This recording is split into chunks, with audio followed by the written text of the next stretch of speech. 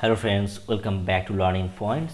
So in this video i am going to show you how to use the full stack application that is how to use laravel as the backend and angular as a front end so i'm just going to sign a process with a jwt authentication.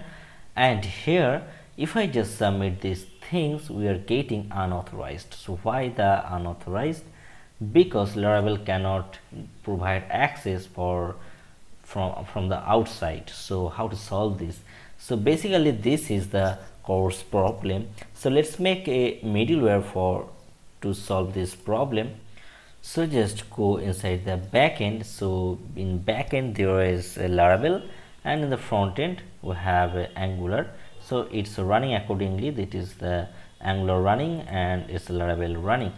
So let's create a middleware to solve the CORS problem. So simply write php artisan make middleware right? So m-i-d-d-l-e-w-a-r let's make middleware.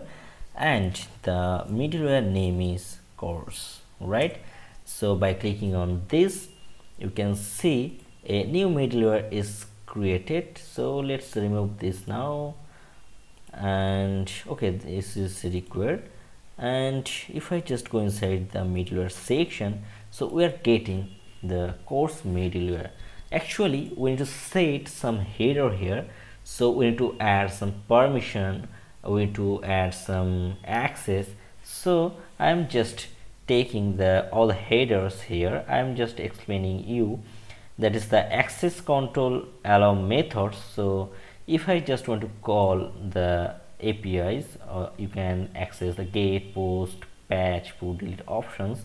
So all the methods and the origin start that means all kind of origin will accept.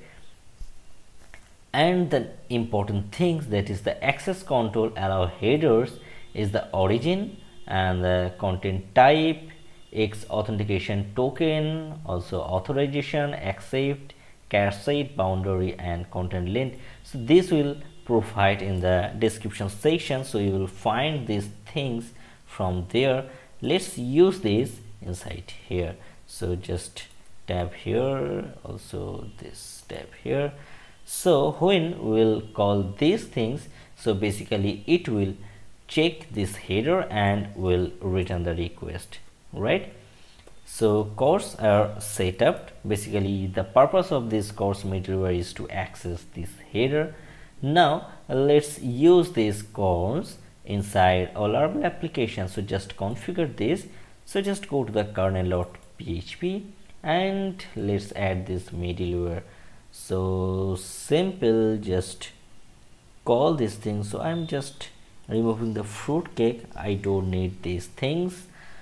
And let's use these things. Actually we'll get the path of the app http middleware and the name of the middleware is CORS. That is a class name.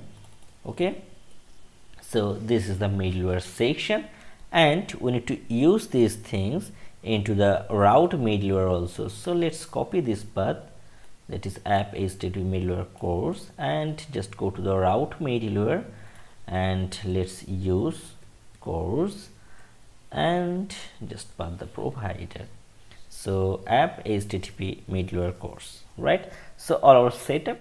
Now just request this again. So just go to the browser again. Just if you click on this. So still we are getting unauthorized. So just go to the visual studio code and let's check the authentication controller. So here inside the constructor we are adding this middleware.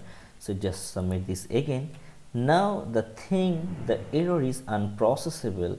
Something is unprocessable. That means something error. So just go into the sign up section and let's print the request value. Let's check whether the requests are actually coming or not. Okay? So now click on this again and just go to the network and yes this is the status code 200 that is sign up okay we are getting the value from front end. That means from the angular side we're getting into the laravel. Let's process this data into the laravel side okay? So actually we can see there is password confirmation but we have not added these things. So let's add password confirmation and it will also be required and it should be the same as the password. Okay? So just add this same password. Okay? So as we are adding this password confirmation but if we just go into the database we don't have this password confirmation section. So if i just use this then it will try to insert the password confirmation into the password confirmation field. So let's accept this thing. So let's restrict this thing. So how we can restrict? So use some accept functions and from the accept function i'm just passing these things right? Now let's see what happened. So if you just go again and let's submit this okay? So another error. So the given data was invalid. That means this is the Laravel error. That what we are just going to expect right the password confirmation is problem. So the given data was invalid and the password confirmation and password don't matching. So let's use this here and you can see okay? So let's add these things 1 2 3 4 5 6 and again 1 2 3 4 5 6 right?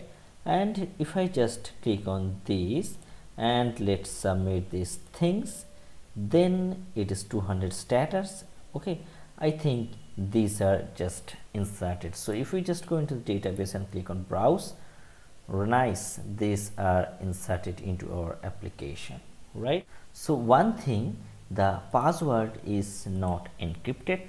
And the another things I want to see the error message. So suppose if I enter the wrong email ID that is not a correct format so here we can see the error but I want to see this error into here. So how we can we do this right? So just go to the Visual Studio Code again and we are getting response from the sign in component dot ts now we can set the error. So here this is the error and it's any type and we are getting this errors message into here. So this is the errors message. And let's print this into the html file. So simple. Just go sign up component.html file. And i want to display the errors here right? So how you can display? Simple. Just right here another div. So, so just create a new div. And here the div will be the alert so simply just write class and this is alert and as it is a error message so i am using the alert danger right? And inside here i can print that is error name. So for name there is error dot name. Actually this error is a typescript property. So here you can see this is the error we have defined. And also we are using this error and pushing this into here. So we can use this error dot name and all time this error will not show. So first we will check if there is any error in name then only it will display. So let's use the hidden and just write colon error e r r o error dot name okay so just copy these things for every case. So for email and password and also for password confirmation. So just write in this way error dot password confirmation. And for password just use this. Sorry just copy this password and paste it here also for email so just and also for email so just copy this and paste it here. And let's see what happens. So just go here and let's add some name that is john and john at the rate email dot com. And the password is 123 one two three four five. So let's see what happens so just click on submit. So here you can see the password confirmation and password not matches. And if you just change the email just making the wrong email intentionally so just click on submit. Also the message is showing. Okay so let's cool things. So just to refresh these things again. And let's enter john. John at the rate email dot com and password one two three four five six. Okay one two three four five six and one two three four five six. And let's submit this. So we can see into the database uh, another record is added right? And the last things that is the password. So here you can see the password is 12345 that is the raw password so i want to decrypt this password when inserting data. So simple laravel things.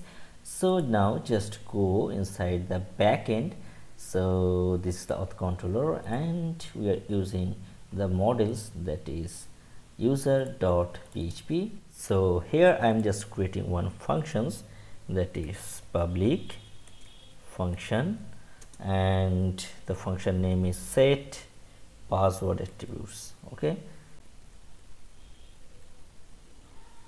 and just use the value. So write dollar value here. And just return this attribute. Return dollar this attributes. Attri is attributes. Sorry spelling mistake. Equal to the sorry attributes the this is the password. So right here password equal to the bcrypt formatted password. So bcrypt and the password will be which we are just getting from the parameters. So right here value and let's go inside the chrome and let's refresh this. So here my name is shomo and right here shomo at the rate email.com and password 123456 and 123456 and let's click on submit. So now just go here and you can see the new user is added and the password is encrypted format right?